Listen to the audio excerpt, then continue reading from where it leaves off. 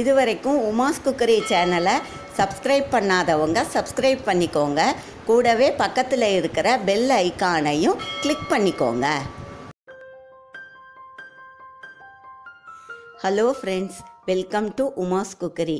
இன்றைக்கி நம்ம வீட்டில் இருக்கிற பொருள்களை வச்சு ரொம்ப சிம்பிளான டேஸ்டான சாஃப்டான ஸ்வீட் ரெசிபி பார்க்கலாம். இது ரொம்ப ட்ரெடிஷ்னலான ரெசிபி சொகுசா ஒப்பட்டு இந்த ஒப்பட்டை செஞ்சு ஃப்ரிட்ஜில் வச்சா ஒரு வாரம் ஆனாலும் சாஃப்டாகவே இருக்கும். இதுக்கு தேவையான பொருட்கள் முத்தின தேங்காய் ஒன்று பத்த பண்ணிட்டு பின்னாடி இருக்கிற ப்ரௌன் லேயரை பீலரில் எடுத்துருங்க அதை சின்ன சின்ன பீஸாக கட் பண்ணி வச்சுக்கோங்க. சர்க்கரை இரநூறு கிராம் பால் நூற்றி ஐம்பது எம்எல் ரவை நூற்றி ஐம்பது கிராம் ஏலக்காய் ஆறு. ரவையை நீங்கள் எந்த கப்பில் அளந்துக்கிறீங்களோ அதில் ஒரு கப்பு பால் ரெண்டு கப்பு தண்ணீர் சேர்த்துக்கோங்க. ஒரு பவுலில் தேவையான அளவு மைதா எடுத்துக்கோங்க. நான் இரநூறு கிராம் மைதா எடுத்திருக்கேன். கால் ஸ்பூன் உப்பு சேர்த்துக்கோங்க. இதோட ஐம்பது எம்எல் எண்ணெயை சேர்த்து நல்லா பெசரி விட்டுக்கோங்க. எண்ணெய் சேர்த்து பெசறினதை கையில் பிடிச்சு பார்த்தா இந்த அளவு இருக்கணும். இதோட கொஞ்சமா தண்ணி சேர்த்து தளர பிசைஞ்சிருங்க.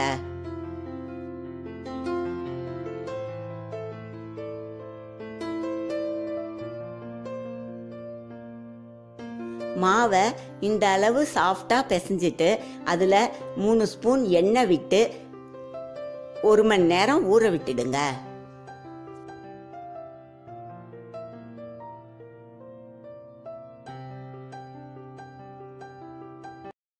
கட் பண்ணி வச்சிருக்கிற தேங்காயை மிக்சி ஜாரில் சேர்த்து தண்ணி சேர்க்காம அரைச்சி வச்சுக்கோங்க. நம்ம முன்னாடியே சொன்ன மாதிரி எந்த கப்பில் ரவையை அளந்துக்கிறீங்களோ அதில் ஒரு கப்பு பால் ரெண்டு கப்பு தண்ணீர் சேர்த்துக்கோங்க. இதுலேயே இரநூறு கிராம் சர்க்கரையையும் நூற்றி ஐம்பது கிராம் ரவையையும் சேர்த்துக்கோங்க.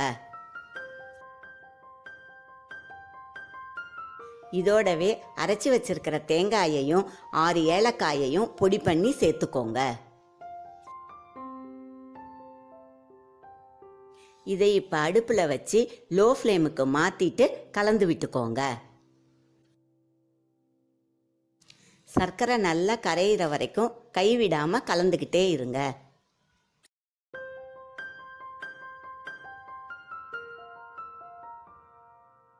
அஞ்சு நிமிஷத்தில் சர்க்கரை நல்லா கரைஞ்சி இந்த அளவுக்கு கெட்டி பதத்துக்கு வந்துடும்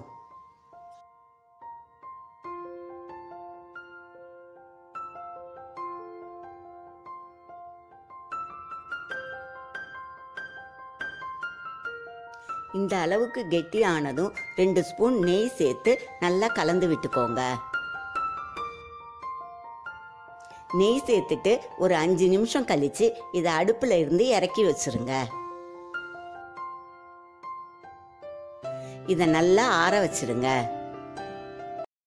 நல்லா ஊறின இந்த மாவை ஒரு சின்ன பால் சைஸுக்கு எடுத்துக்கோங்க. ஒரு வாழை இலையிலையோ ஷீட்லேயோ எண்ணெய் தடவிட்டு அதில் இந்த பாலை வச்சு ப்ரெஸ் பண்ணிட்டு நல்லா விரிச்சு விட்டுக்கோங்க.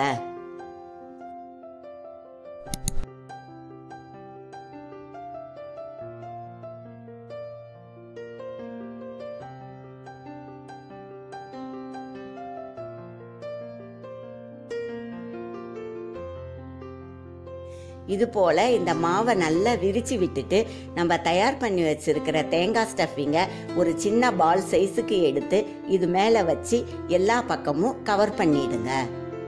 கவர் பண்ணி வச்சுருக்கிற இந்த உருண்டையை கால் இன்ச்சு கனம் இருக்கிற மாதிரி தட்டி வச்சுக்கோங்க.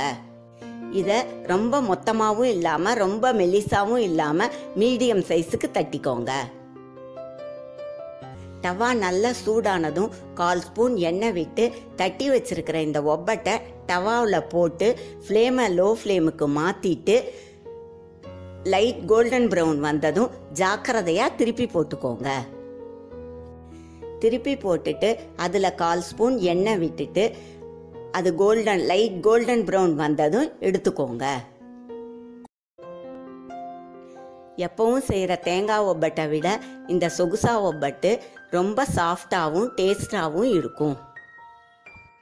ரொம்ப சாஃப்டாக இருக்கிற இந்த சொகுசா ஒப்பட்டை நீங்களும் வீட்டில் ட்ரை பண்ணி பாருங்கள் இந்த வீடியோ உங்களுக்கு பிடிச்சிருந்ததுன்னா உமாஸ் குக்கரிக்கு லைக் பண்ணி ஷேர் பண்ணி சப்ஸ்கிரைப் பண்ணுங்கள்